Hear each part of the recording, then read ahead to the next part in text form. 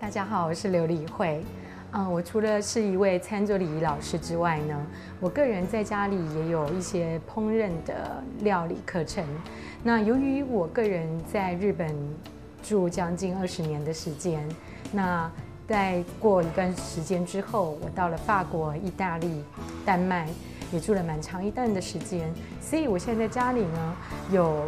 开放于一些学生，除了一些日本料理之外，还有一些法国料理的这种烹饪教室哦。所以在食材的选购方面呢，也是一个对我的料理课来说是非常重要的一件事情。那除了一般我们在台湾常常可以看得到的一些比较基础的这种食材的选购方式之外呢，我也想跟各位分享。呃，日本人或者说欧洲人，他们是如何来保保存这些食材，然后跟各位做个分享。好，我想我们今天刚开始从肉类开始。那肉，今天我选择的是牛肉。那其实，呃，我很多学生也应该跟各位都一样，他们平常都会有比较困扰的地方，就是说我今天要去买肉。我不知道要买哪一个部位，或是说我不知道如何选购食材。其实牛呢，它的部位有很多种。我们一般来做这个 steak 这个牛排的情况下呢，会是用沙朗或是菲力。那沙朗跟菲力又有什么不同呢？那通常我们可以看到菲力呢，它可能的肉比较少块一点，那肉度会比较厚，都是瘦肉的部分。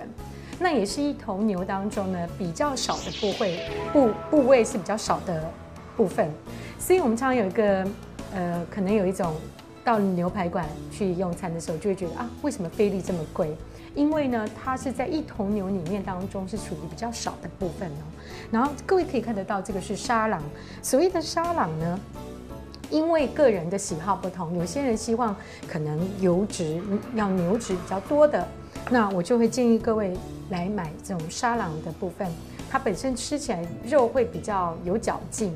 那菲力呢是比较软，那沙朗呢，它通常这边中间都会有一块牛筋，这个牛花，然后这个部分呢可以让我们在咀嚼上也是，当然有时候我们是不不食用的。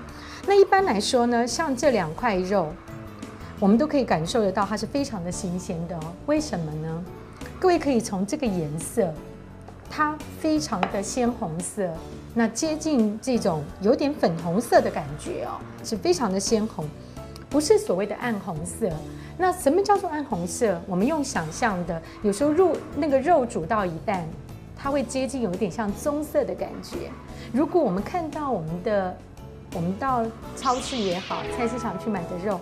它接近暗红色的话，表示这个肉质呢，它并不是这么的新鲜哦。所以，呃，通常我们在选购的时候，以颜色来说，当然是越鲜红的是越新鲜的。